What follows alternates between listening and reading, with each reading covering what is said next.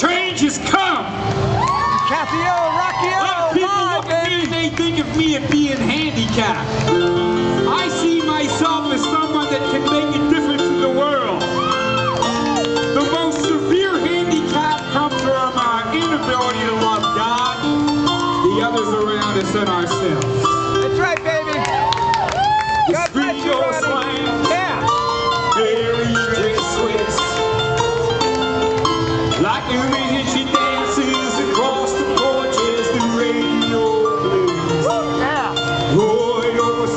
Come on.